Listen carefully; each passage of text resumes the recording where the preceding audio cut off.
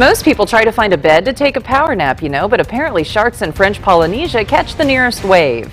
Researchers at Miami's Florida International University found gray reef sharks are able to conserve at least 15% of their energy by piggybacking on a strong current. Experts say sharks need to keep moving to get oxygen, so the glide gives their tails a much needed break.